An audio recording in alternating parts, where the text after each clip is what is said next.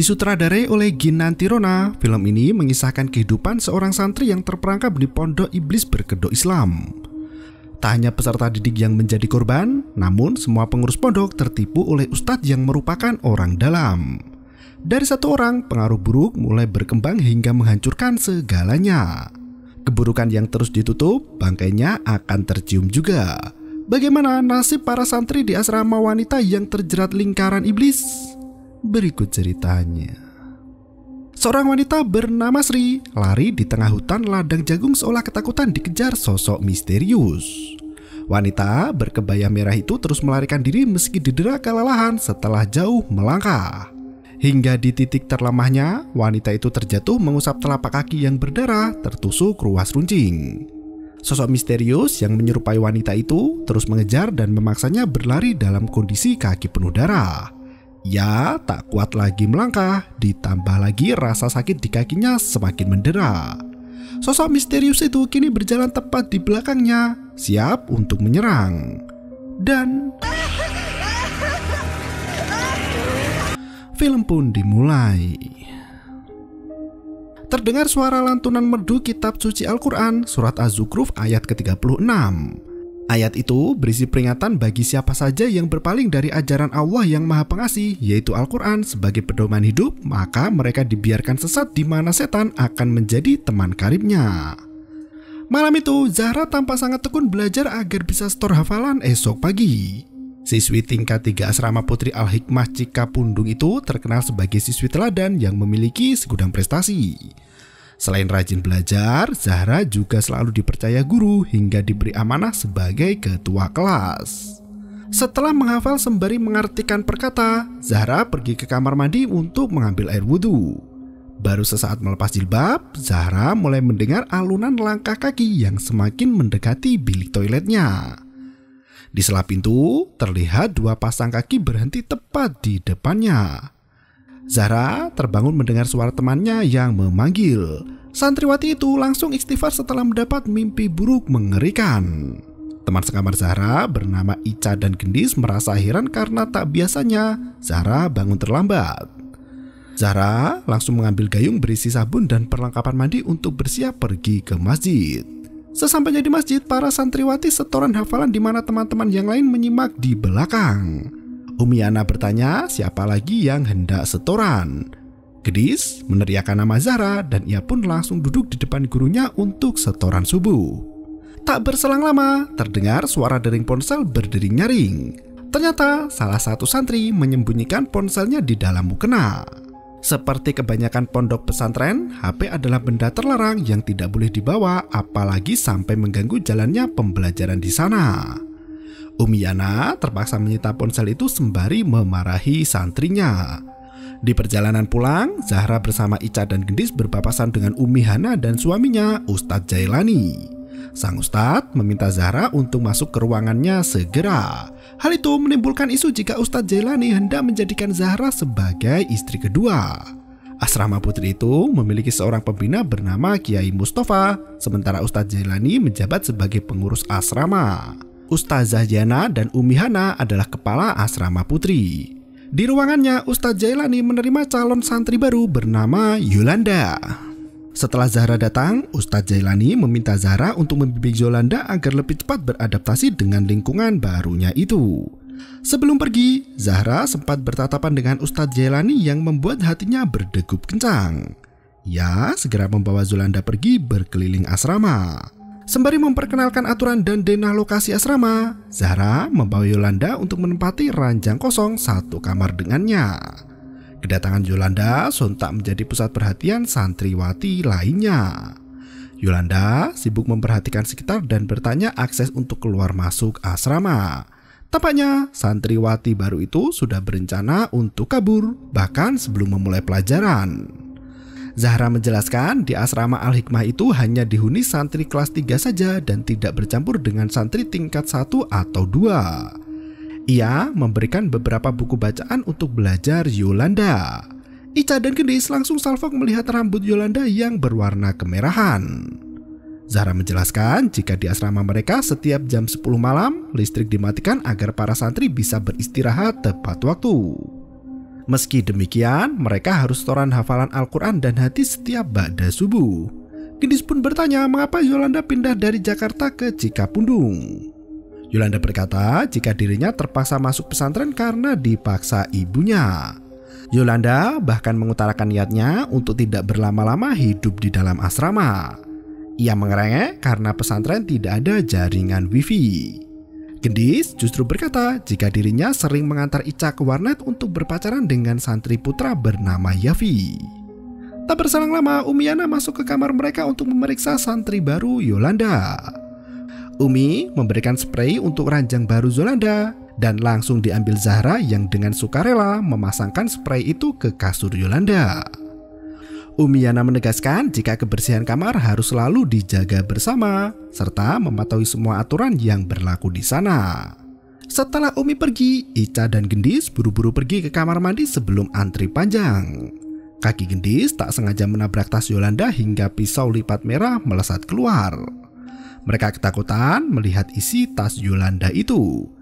Sementara Yolanda menjelaskan dengan santai jika pisau itu digunakan untuk menjaga diri.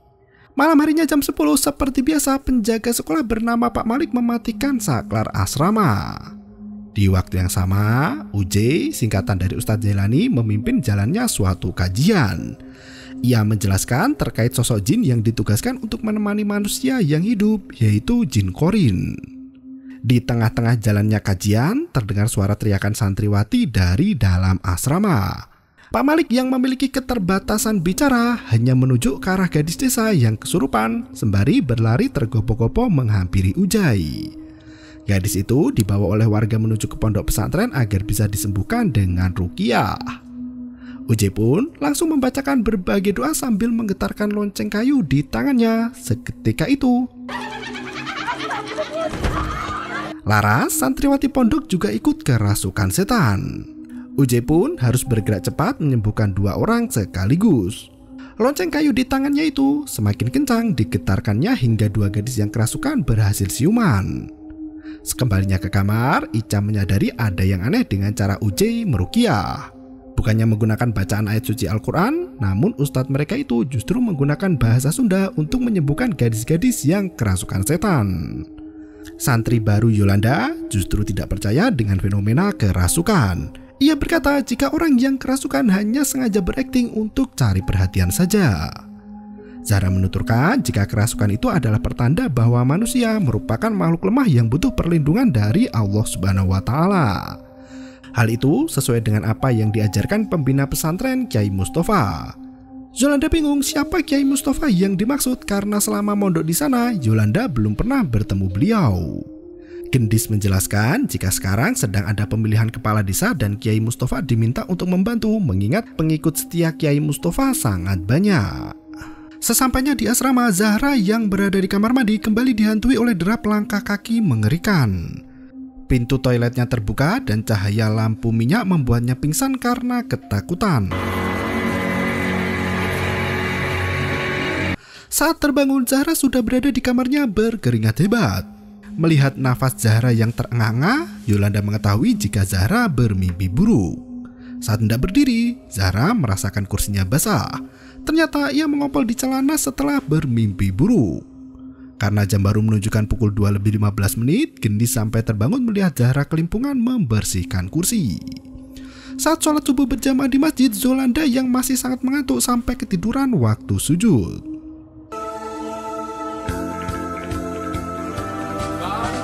Paginya, pembelajaran di kelas berlangsung seperti biasanya. Samar-samar Zara mendengar lantunan lagu dari telinga Zulanda. Santri baru itu langsung menutup mulut Zahra dengan sangat kencang, takut ponselnya ketahuan guru. Tak berselang lama, Ujai masuk ke dalam kelas dan disambut dengan salam yang dipimpin Zahra selaku ketua kelas. Ujai membagikan selembar kertas pada para siswi didiknya sembari berkata jika malam nanti akan dilangsungkan ujian praktik korin. Ia menegaskan jika korin adalah jin yang menyertai dan menyerupai manusia. Para santri diajarkan untuk bisa memanggil jin korin dan bertemu serta berkomunikasi dengan mereka. Ujai berdalih memberi ilmu supranatural adalah cara manusia untuk melepaskan diri dari nafsu duniawi.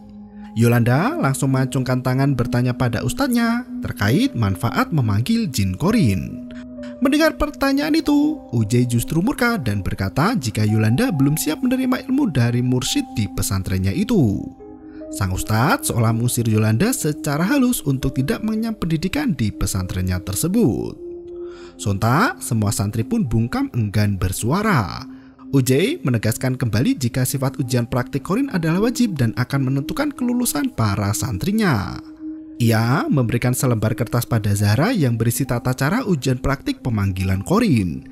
Di antaranya yaitu menggunting kuku, memotong rambut, menyediakan kain kafan yang tertulis nama bin di dalamnya, mandi junub, membawa satu butir jeruk purut dan menghafalkan doa yang tertulis dalam ejaan Arab. Samar-samar, Zahra melihat sosok jin yang berdiri tepat di belakang kaki Ujai. Setelah pelajaran usai mereka pergi keluar kelas untuk mengikuti olahraga.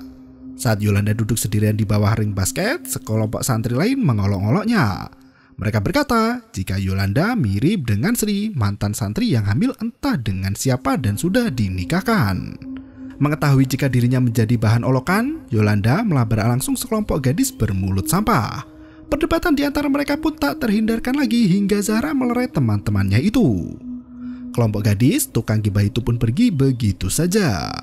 Zahra menjelaskan pada Yolanda jika Sri dulunya santri di pondok mereka juga, namun dikeluarkan dari pondok saat awal masuk kelas 3. Dari kabar yang beredar, Sri pernah menyerang Ustadz Jailani. Sebab dan motivasi penyerangan itu pun tak ada yang mengetahui kecuali Sri sendiri. Yolanda makin curiga jika ada yang gak beres dengan pondokannya itu. Di waktu yang sama, Ica asik ngobrol di gerbang samping asrama dengan pacarnya Yavi. Tampaknya mereka bertengkar karena saling cemburu satu sama lain. Melihat ada santri baru, Yavi sempat melirik Yolanda. Zara memanggil Ica untuk segera kembali ke kelas sebelum kepergok guru mereka. Setelah Zafi pergi, Ica kembali bergabung dengan Zara dan Gendis yang asik main kucing hitam. Yolanda justru menghilang entah ke mana. Di tempat lain, Ustazah Hana menjamu suaminya Uje yang membaca buku sendirian di ruang tamu. Hana memberikan minuman dari abahnya sebagai ikhtiar agar mereka bisa cepat punya momongan. Wanita itu sempat curiga dengan Zahra dan bertanya apa yang terjadi dengan santriwati mereka. Ujai menegaskan jika urusan santri biar diserahkan padanya dan Hana cukup duduk manis di rumah menjaga kesehatan rahimnya. Hana pun hanya bisa mengangguk dan menerima dengan pasrah perintah dari suaminya itu. Zahra masih kelimpungan mencari keberadaan Yolanda yang tidak ada di mana-mana. Saat berada di dekat kolam ikan, Zahra menemukan kelinci putih sampai kegirangan memeluknya. Dari kejauhan, terlihat Pak Malik menangkap satu kelinci yang masuk ke dalam perangkap. Zahra mengikuti ke mana penjaga asrama itu pergi. Mereka masuk ke dalam hutan yang dalam dan sebuah gubuk di dalam hutan itu. Yolanda tiba-tiba muncul mengejutkan Zahra yang memeluk kelinci. Si kelinci sampai loncat pergi ketakutan dan kaki Zahra menginjak dahan kering. Mendengar keributan di sekitar, Pak Malik menengok keluar. Untungnya, Zahra dan Yolanda berhasil sembunyi dan tidak ketahuan. Di gubuk sebelah ternak ayam itu, Zahra dan Yolanda melihat Ujai memberi jimat kepada warga yang kerasukan setan. Jimat itu harus ditanam di kuburan dibantu oleh Pak Malik. Yolanda dan Zahra sangat penasaran apa yang dilakukan Ujai di dalam gubuk.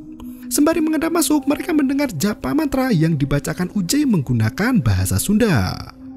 Melihat wanita berlenggak-lenggok di dalam gubuk, Yolanda langsung merekam kejadian itu dengan ponselnya.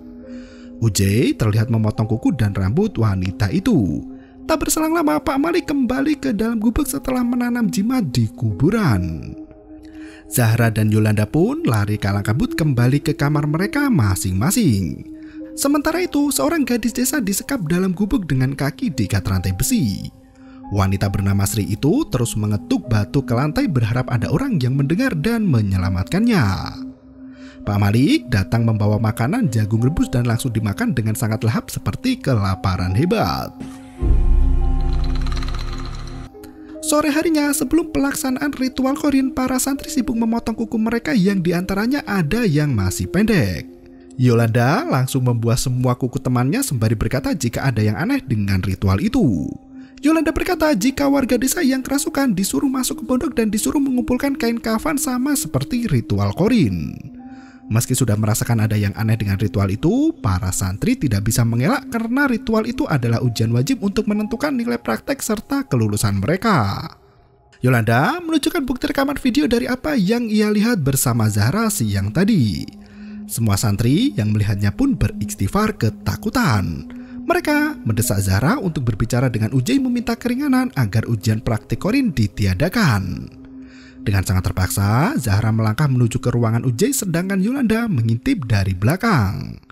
Belum sampai masuk ke ruangan Ujai, Zahra lari kembali ke asrama dan berbohong pada teman sekelas jika ritual korin tetap akan diadakan. Ia berkata sudah melakukan negosiasi namun Ujai tidak mengabulkan permintaan mereka. Zolanda mengetahui semuanya namun ia hanya bisa diam.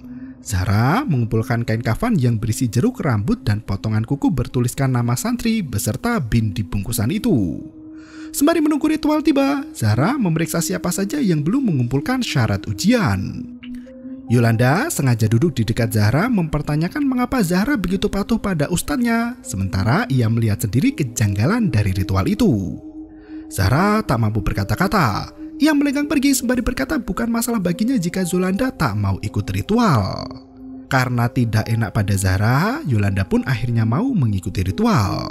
Malam itu, suasana hening semakin mencekam disertai hujan yang mengguyur sekujur badan. Para santriwati dibariskan di alam terbuka dengan membawa kain kafan bertuliskan nama masing-masing. Ujai menggetarkan lonceng kayu di tangannya sementara tubuh Zahra menggigil karena kedinginan. Ujai menuntut Zahra untuk membaca doa sebelum ritual korin dimulai. Ia memaksa semua santri melemparkan kain kafan itu ke dalam liang lahat satu persatu setelah membacakan mantra pemanggil jin korin. Dalam mantra berbahasa Indonesia itu terdengar jelas jika mereka memohon agar bisa memanggil serta melihat korin mereka masing-masing dan menyerahkan jin korin itu entah kepada siapa. Ritual berakhir sekitar jam 11 malam di mana santri sudah kembali ke kamar masing-masing. Zahra menyempatkan diri untuk minta maaf pada Yolanda karena memaksanya untuk ikut ritual. Yolanda berkata, jika terjadi apa-apa dengan mereka, Zara harus berani melawan dan jangan takut. Di malam yang semakin larut, gemuruh petir yang menyambar membangunkan Umi Hana dari tidur panjangnya. Ia membuka rak lemari yang terkunci rapat berisi gulungan kain kafan dengan namanya di sana, Hana bin Mustafa. Di bawah gulungan kain kafan itu tersimpan buku risalah jin karya Kiai Ade Nuraman yang berisi tata cara dan proses pemanggilan jin dalam jiwa manusia serta cara terhindar dari gangguan jin. Tiba-tiba pintu rumah Hana terbuka. Ustazah itu segera mengenakan jilbabnya untuk pergi keluar menghampiri suaminya yang duduk sendiri di pendopo. Saat langkahnya semakin dekat, terdengar suara Uje yang memanggil istrinya dari dalam rumah. Hana sontak menoleh ke belakang di mana suaminya itu berdiri di teras memanggilnya. Ternyata sosok pria mirip seperti suaminya itu menghilang dari pendopo yang itu adalah Jin Korin Ujai. Hana berlari menyambangi suaminya sembari berkata kain kafan di rak lemari bertuliskan namanya itu digunakan untuk apa. Ujai berkata jika ilmu itu bukan kapasitas Hana untuk mengetahuinya. Hana menegaskan jika Abah Mustafa tidak pernah membenarkan siapa pun untuk mempelajari ilmu tentang jin jika dirinya sendiri belum mampu. Ujai justru berkata jika Abah Mustafa tidak pernah peduli dengan pesantren. Hana sakit hati mendengar hal itu karena abahnya adalah pendiri pondok yang terus melindungi pondok pesantrennya itu dari kemusyrikan. Hana mengaku menyesal karena selama ini dirinya tidak pernah percaya dengan laporan yang dituturkan Sri dan santri lain kepadanya. Ujai pun murka dan membanting kaca untuk menakuti istrinya. Saat itu Zahra tengah menyikat gigi sendirian di kamar mandi. Sembari menatap ke dalam cermin, ia berhenti menyikat gigi, namun bayangan masih meneruskannya. Zahra sampai melongo melihat fenomena itu namun si bayangan buru-buru mengikuti. Tak berselang lama, terdengar suara dentuman dari bilik toilet yang membuat Zahra semakin ketakutan. Gadis itu membersihkan mulut untuk segera kembali ke kamar. Namun tak disangka, Ica keluar dari toilet dan berjalan menghampiri Zara. Gadis itu buru-buru pergi dan pamit pada Ica untuk kembali ke kamar terlebih dahulu. Anehnya, sosok Ica langsung menghilang begitu Zara meninggalkan kamar mandi. Sesampainya di kamar, Zara melihat Ica masih tidur di ranjangnya. Ternyata sedari tadi Ica belum pergi ke kamar mandi dan masih bermalas-malasan di kamar karena sedang M. Zara hanya bisa terduduk diam sambil berpikir keras siapa yang baru saja dilihatnya di kamar mandi. Tiba-tiba, Ica berdiri di depan Zara dengan kaki pucat berdarah dan mencincing roknya hingga ke atas paha. Melihat Zahra ngos-ngosan sendirian, Gendis menyadarkan gadis itu yang ternyata Ica hanya duduk mencengkram perut yang terasa kram. Sementara itu, di persembunyiannya, Yolanda merokok sendirian dan melihat Zahra keluar dari kamar. Yolanda bergegas mengikuti santri itu yang masuk ke dalam ruangan Ujai. Dengan ponsel andalannya, Yolanda tak lupa untuk merekam kejadian sebelum subuh itu. Siang harinya, Yolanda menunjukkan rekaman videonya itu pada Zahra. Yolanda berkata jika dirinya mengetahui jika Zahra sering diminta untuk menemui Ujai di ruangannya. Zahra menangis sejadinya. Karena enggan bercerita, Yolanda berkata jika dirinya bisa menelpon polisi atau mengadukan Ujai kepada Ustazah Ziana. Zahra terlihat ketakutan dan berkata jika Umiana melihat ponsel Yolanda, maka ponsel itu akan disita. Yolanda berkata hendak pergi ke rumah Kiai Mustafa untuk melaporkannya. Bersama Zara, mereka menyelinap masuk ke ruang guru untuk mencatat alamat rumah Kiai Mustafa. Saat Yolanda masuk ke dalam, Zahra menunggu di luar ruangan. Samar-samar Zahra melihat seorang gadis berbaju merah memergokinya. Zara mengikuti ke mana arah gadis itu pergi sampai lupa jika dirinya harus menjaga Yolanda. Benar saja, Yolanda ketahuan oleh Umiana saat hendak melaporkan kesesatan Ujai pada Kiai Mustafa. Umiana langsung menyeret Yolanda keluar dan menyita HP dari santri itu. Yolanda berkata jika Ujai hendak melecehkan para santri. Saat ia hendak menunjukkan bukti, Umiana langsung membawa ponsel itu dan meminta Yolanda untuk segera pergi ke kamar.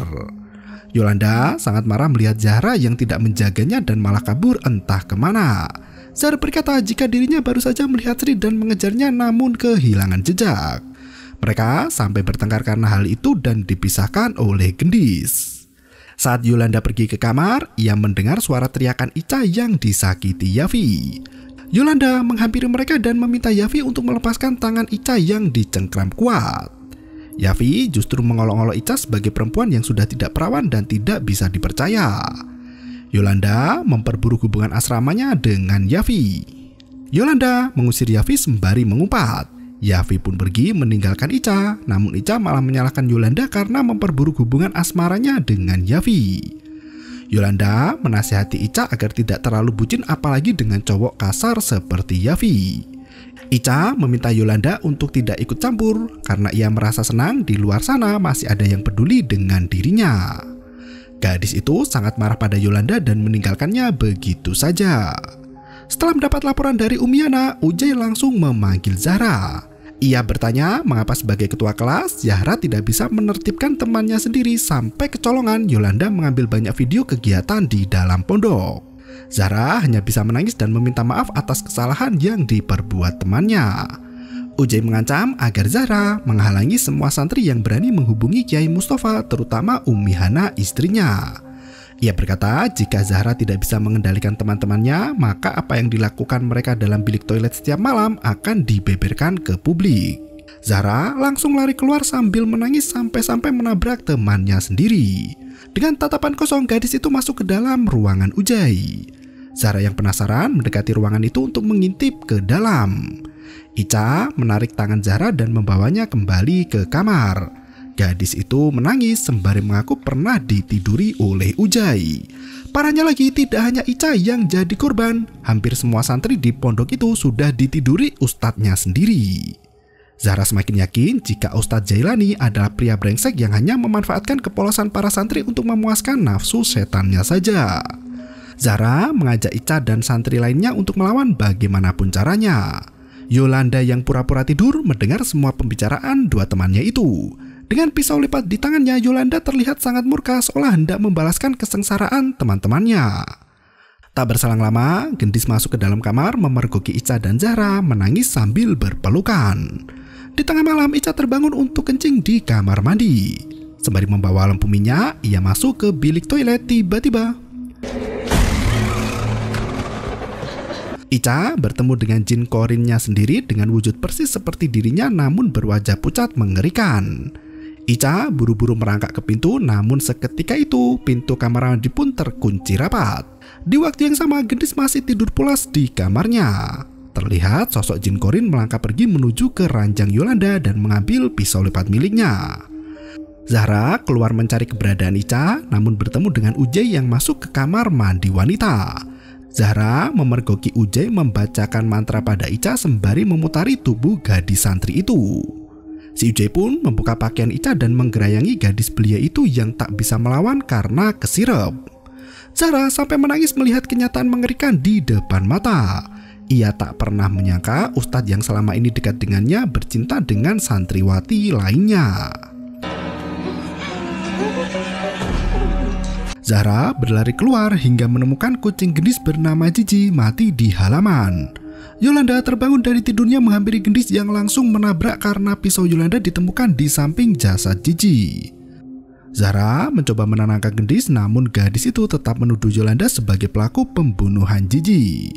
Yolanda sampai bersumpah jika dirinya tidak pernah melakukan hal itu.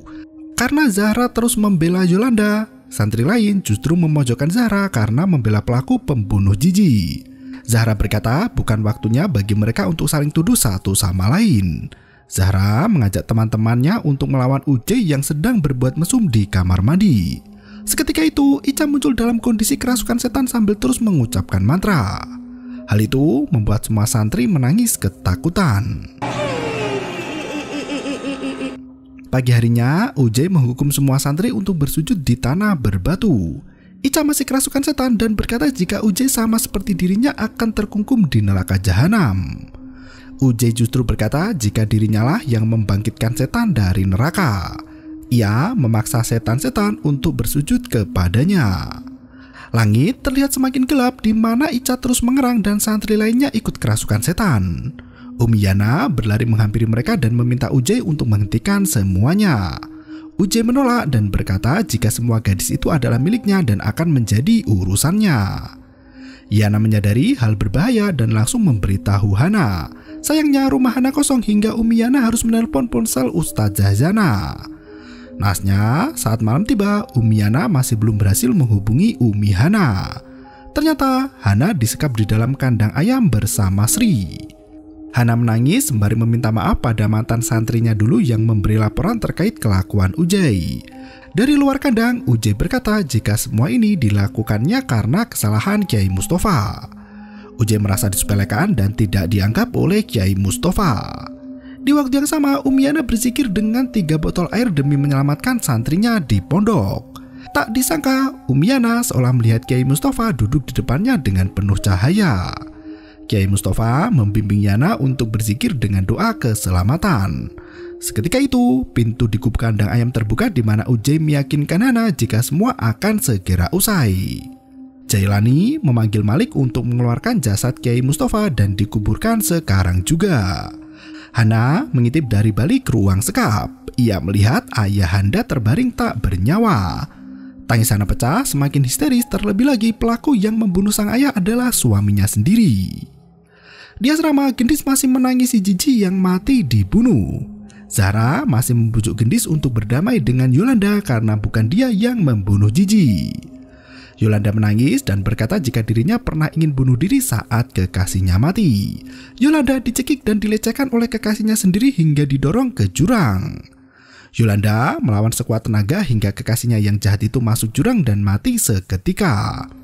Ia menanggung rasa bersalah hingga menjadi bulan-bulanan keluarga kekasihnya itu. Sampai Yolanda harus minum obat antidepresan dan sengaja overdosis untuk mengakhiri semua penderitaan hidup. Ia meminta maaf pada Gendis dan menjelaskan jika dirinya tidak melakukan hal keji pada Jiji. Gendis masih sangat marah dan tidak menerima alasan apa pun. Mereka mulai bertengkar hingga membuat Ica kesurupan lagi. Ica mengamuk dan melukai Gendis. Saat hendak menyerang Jara, Yolanda langsung menahan tubuh Ica. Gendis membantu menahan kaki Ica sementara Zahra mengambil tali di dalam tas Yolanda. Setelah mengikat tubuh Ica, Yolanda dan Zara mencari Umiyana sementara Gendis yang kakinya terluka menemani Ica. Saat mereka mencari kunci di ruang guru, beberapa jin korin muncul menyerang mereka berdua. Tubuh Zahra dan Yolanda ditarik menjauh oleh jin korin mereka masing-masing. Yolanda lari memasuki ruangan Ujai sementara Zahra dibawa pergi hingga diselamatkan seseorang misterius. Di waktu yang sama, Gendis mengambil senter di bawah kolong meja hingga tak sadar jika Ica menghilang. Ternyata Gendis sampai pingsan saking takutnya melihat Ica meliuk-meliuk bak iblis ular putih. Di dalam ruangan Ujai, Yolanda menemukan buku risalah jin dan membaca doa penangkal iblis. Ia merobek halaman itu dan bersembunyi karena terdengar suara pintu dari luar ruangan. Yolanda pun segera bersembunyi di bawah meja. Tak berselang lama, Ujai masuk ke dalam dan meletakkan lampu minyak di atas meja. Tak berselang lama, Ica yang kerasukan setan masuk ke ruangan itu. Sembari membaca mantra, Ujai membunuh gadis itu tanpa ampun. Yolanda menangis sejadinya, terlebih lagi jasad Ica terbaring di dekat tempat persembunyiannya. Saat Yolanda hendak menyelamatkan Ica, Jin Korin Yolanda muncul untuk ajak duel. Jin itu membawa pisau lipat milik Yolanda untuk menyakitinya. Zahra disadarkan Umiana dari bayang-bayang Ujai yang mematikan. Zahra menangis di depan Yana. Ia mengaku telah dilecehkan berulang kali oleh Ujai. Dan bukan hanya Zara, namun santri putri lainnya juga menjadi korban. Gendis tersadar tanpa ada Ica di kamarnya. Ia melangkah pergi dan menemukan kamar lain ribut karena beberapa santri kerasukan setan. Ia berlari mencari keberadaan Ica namun malah menemukan Zara sedang makan bangkai kucing jijik. Di tempat lain, Jin Korin Yolanda menyayat tangannya sendiri namun Yolanda ikut terluka. Darah mulai mengecut deras di mana Yolanda kembali berlari kencang menyelamatkan diri. Kondisi di dalam asrama putri itu semakin tak karuan. Wabah Jin Korin merajalela hingga tak ada yang bisa lolos darinya. Satu melawan satu antara manusia dengan jin. Sayangnya kekuatan Jin Korin digambarkan begitu kuat hingga tak ada yang bisa menandingi mereka. Zahra bersama Umiana kebingungan mencari Ica, Yolanda, dan Gendis yang tak berada di kamar mereka. Zara terpaksa meninggalkan Umiana untuk mencari teman-temannya. Saat itu, Gendis menangis sendirian memanggil nama Zara. Zara pun langsung menyadarkan temannya itu. Umiana menghampiri Gendis dan mengoleskan mata Gendis dengan air yang sudah didoakan sembari membaca doa menghalau iblis. Zulanda masih berlari ketakutan melihat Jin Korin menyakitinya. Umiana melakukan hal yang sama pada Yolanda dan berhasil menyadarkan para santri dari pengaruh penglihatan iblis. Tangan Yolanda yang awalnya terlihat berdarah ternyata tak terluka sama sekali. Yolanda menceritakan apa yang ia lihat di ruangan Ujai. Mereka langsung membawa jasad Ica yang mati terbunuh di masjid untuk dimandikan dan disolati. Tiba-tiba, pintu dan jendela masjid terbelalak diiringi dengan mata Ica yang menatap tajam ke arah Zara. Mereka langsung menutup kain jenazah Ica sekaligus menutup pintu dan jendela masjid. Gendis mengajak Zara untuk membersihkan darah Ica yang mengalir di tikar takut mengotori karpet masjid. Zara yang mencoba membantu pun tak kuat melihat jasad teman sekamarnya tergeletak kaku tanpa nyawa. Zara mengambil wudhu dan bercemin sambil menangis. Saat itu, Zara melihat kejadian ketika di kamar mandi bagaimana dirinya dilecehkan oleh Jailani. Ustadz bejat itu berkata, jika Zahra mau memuaskan nafsunya, maka itu adalah bukti dari pengabdian seorang murid kepada mursidnya atau pemimpinnya. Zahra tak bergeming dan hanya bisa menangis saat digauli. Melihat hal itu, Zahra memecahkan cermin dengan kursi. Jin Korin Jailani muncul di belakang gadis itu dan berkata jika Zahra selama ini sudah tidak suci hanya untuk mendapatkan nilai maksimal. Zara sangat marah mendengar hal itu dan menyerang Ujai dengan potongan cermin. Tubuh Zara menembus sosok jin itu hingga terbentur menabrak tembok. Zahra mengancam bundir, namun iblis itu justru tertawa yang berbahagia. Tak berselang lama, Zolanda masuk ke tempat wudhu memergoki Zara dalam kondisi lemah tak berdaya. Zara menangis dan berkata dirinya tidaklah suci. Yolanda mengajak Zahra untuk bersama-sama melawan kezoliman. Saat itu sosok Zahra sudah dikuasai jin korinnya sendiri. Zahra dan Yolanda melangkah pergi setelah Pak Malik pergi membawa cangkul. Di tempat lain, Jailani menyembeli beberapa kelinci untuk dipersembahkan pada sesembahannya yaitu golongan jin korin. Umiana memimpin para santri untuk membaca Al-Quran mendoakan arwah Ica. Anehnya, satu persatu jin korin para santri bangkit dan menertawakan manusia. Gendis mulai histeris karena melihat penampakan jin korin yang menggerakkan manusia untuk berbuat dosa. Umiana sampai kebingungan menenangkan para santri yang kembali kacau balau. Jailani terus merapalkan mantra dan menggetarkan lonceng kayu di tangannya. Setelah menyadarkan Gedis, Umiana mengobati satu persatu santri yang histeris agar kembali eling dan waspada. Yolanda dan Jara mengikuti Pak Malik yang masuk ke dalam gubuk kandang pitik. Malik membawa jasad Kiai Mustafa pergi hingga membuat Yolanda dan Jara ketakutan melihatnya. Dua gadis itu masuk ke gubuk dan menemukan Umihana bersama Sri ada di sana. Sri mulai mengamuk hendak membunuh mereka berdua. Yolanda langsung membaca doa yang dibawa dari buku risalah jin yaitu surat al-jin. Jelani merasakan ada serangan dan berhenti merapalkan mantra. Sri terbaring lemah tak berdaya dengan tatapan kosong seperti kesambet jin. Yolanda segera melepaskan ikatan di tangan Umihana dan membawa Sri pergi dari kandang. Naasnya, pelarian mereka dipergoki oleh Malik yang menatap dengan kebencian. Sri membujuk Pak Malik agar melepaskannya. Sesampainya di masjid, mereka bertemu dengan Umiyana yang masih berusaha menenangkan para santri. Malik kini berbalik menyerang tuannya sendiri Jailani, namun apa daya tubuh Malik telah dimantrai. Hanya dengan menggetarkan lonceng sekali, Jailani sudah bisa menggerakkan tangan Malik untuk menyakiti dirinya sendiri. Pria itu menusuk tepat di ulu hati hingga apa daya nyawa Pak Malik pun melayang pergi. Zahra memperingatkan jika mereka semua harus segera pergi dari tempat itu agar bisa menyelamatkan diri. Semua orang berjubel keluar namun Jin Korin Jailani menghalangi mereka. Umiana menjadi tameng paling depan yang siap melindungi para santrinya. Ia memimpin zikir hingga arwah Kiai Mustafa hadir untuk ikut berzikir. Bayangan arwah Kiai Mustafa semakin bertambah banyak seiring banyaknya lantunan zikir yang dibaca Umiyana. Jin Korin Jailani pun mulai kesakitan dan terbakar api neraka. Sayangnya wujud asli Jailani sebagai manusia menampik tangan Yana hingga tasbih berhamburan. Tanpa belas kasihan, Jailani membunuh Yana dengan pisau di tangannya. Jailani menggetarkan lonceng kayu hingga langkah kaki para santri terhenti karena terasa kram dan kaku. Hana mendekati suaminya itu dan mengusap pipinya. Tanpa basa-basi lagi, Hana langsung mencekik leher Jailani. Sementara itu, Jin Korin yang mendekap tubuh manusia mulai hilang menjadi asap hitam tebal. Jailani berhasil melepaskan ikatan di lehernya dan berbalik mencekik Hana. Yolanda membaca surat Al-Jin ayat 1 dan 2 hingga berhasil menyingkirkan Jin Korinnya. Yolanda menyerang Jelani, namun pisau lipat itu dengan mudah ditusuknya ke perut Yolanda. Zara membaca surat Al-Jin yang terjatuh dari tangan Yolanda dan menggores leher Jailani dengan pisau. Tubuh Jailani didorong terjun ke dalam sungai. Zara langsung menghampiri Yolanda yang sekarat. Tak mampu menahan kesakitannya lagi, santri baru itu mati seketika. Zahra menangis sejadinya melihat teman barunya jadi korban. Pagi harinya mereka membakar semua gulungan kain kafan yang digunakan untuk ritual pemanggilan Jin Korin. Jin Yolanda, Sri dan Ica pun turut hadir dalam pemusnahan barang magic itu dan film pun berakhir. Allah Subhanahu wa taala menegaskan dalam Al-Qur'an agar orang mukmin tidak perlu takut dengan jin maupun makhluk gaib. Jin sama sekali tidak memiliki kemampuan mencelakakan manusia selama orang itu menjaga iman dan bertawakal kepada Allah. Ketika ada yang berhasil dicelakakan oleh jin, itu bukan karena jin memiliki kekuatan yang hebat, namun orang ini membuka peluang bagi setan untuk mengendalikan dirinya, sehingga jadilah dia budak setan seperti yang terjadi pada dukun dan peramal. Semoga Allah senantiasa menetapkan iman Islam kita dan melindungi kita dari segala godaan setan. Terima kasih dan sampai jumpa. Яу-яу-яу, брмяу, это Катарэп